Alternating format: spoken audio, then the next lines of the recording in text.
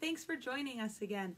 Today I want to teach you how to draw a not so scary monster. Okay friends, let's get started by grabbing a piece of paper. Any color will work for your monster. And you want your paper to go the long way, so horizontal. And grab your pen or your pencil or your crayon or your marker, whatever you feel comfortable with.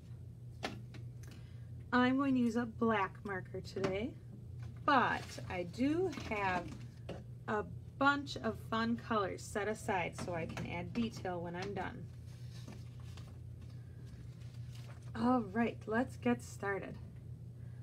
First, I'm going to draw my monster's eyes. My monster is going to have two eyes, but you can make a monster with as many eyes as you want. And I'll kind of start in the middle of the page, but towards the top. And I'll draw a circle. And then right next to it, I'm going to draw another little circle. Just like that. Now, one of the cool things about monsters is no two monsters are exactly alike. So you can make your monster however you want. If you want your monster to have one really big eye and one really little one, you can. If you want your monster to have like three eyes or four, you can do that too. My monster is just going to have two eyes and I'm going to make the middle part of my eye next by drawing a little circle inside the other circles. Now I have my monster's eyes. I need to draw my monster's nose next. So I will do that in the middle of my eyes and it's just going to be a little hill. Do you see my monster's nose? Good. And now I want to draw my monster's body. And my monster's going to have a very hairy body. So I'm going to start here, kind of in the middle of my eye on the edge. And I'm going to go out a little bit and go down. And at the bottom there, I'm going to turn this into a V. Like a V on its side, kind of tilted. And I'm going to do that again. To go down a little bit and out and turn that bottom part into a V and one more time. Down and out a little bit with a V at the bottom. And now I want to do it on this side. So starting kind of the same spot, and I'm going to go down and out, and I want to stop right about the same spot and turn that bottom part into a V. Do it again, down and out that looks about even.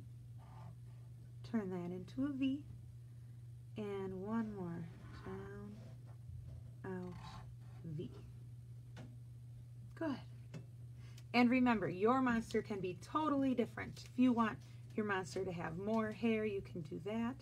If you want your monster to be very sleek, you can have just a straight line down, whatever you want.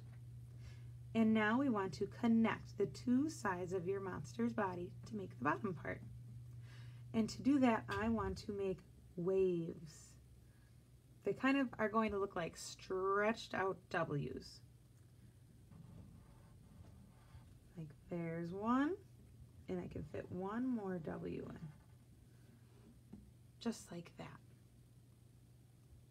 So far, so good. Okay, next I want to draw my monster's legs and feet.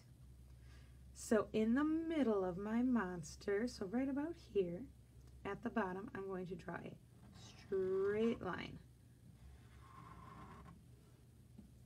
And then down here, I'm going to draw a straight line going the other way, going across. It will look like an upside down capital T. Very good. Okay, now I'm going to start up here again at the bottom of my body And I'm going to make a straight line down, but not all the way. Almost. But I left a little gap. And let's do the same thing over here. Down, but leave a gap. And now I want to make the other part of my foot. So I'll start here and I'm going to go up and down. Kind of looks like a shoe, but this will be my monster's foot. This side too. Good. Now you can make your monster's toenails. Um, you can do that a couple ways. You could give your monster some claws. Like that. Kind of like, they look like shark fins, don't they? Like slanted triangles. Those are the claw toenails. Or you can do these big tall hills for toenails. So I showed you two ways. You can do two different ones for your monster, or you can do both with claws or both with the hills. And if you want, you can do some stripes in your monster's legs. Very nice. Okay, now we want to draw your monster's arms. So in the middle part of your monster's body, I'm going to start kind of at the bottom of the middle section and I'm going to go out and down like if you were making the letter R but without this stem like that see how it's kind of like the letter R and then we're going to make another line for the bottom of his arm. Kind of looks like a rainbow.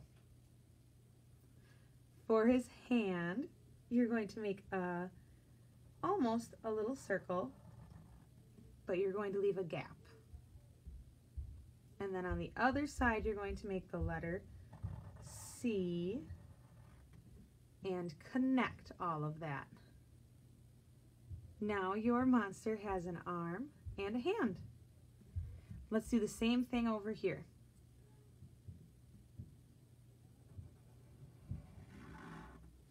another arm and almost a circle. This is like his thumb. So this looks like the C. And now a big backwards letter C that we want to connect. All right, good. Our monster has some goofy arms. And your monster is going to smile. Or at least mine is. Your monster can do anything you want. Um, kind of like a stretched out U for my smile. And I'm going to give him some funny teeth. So just some funny triangles coming out of his smile. And I think my monster is going to have horns. So to the side of his eyes, I'm going to do a curved line up and then a curved line down. And on this side too, a curved line up and a curved line down. You could also just do triangles for horns. And you can make stripes on your horns too if you want. And I think maybe I want my monster to have wings too. So I'm going to start in between my horn and my arm and I'm going to go up like I'm starting to make a triangle and then I'm going to go down like a triangle and then I'm going to follow those lines until they meet. Let's do the same thing over here like a really stretched out triangle Go up and then down and then we're going to start at that end and follow those lines back. And now we're going to go at the bottom right here and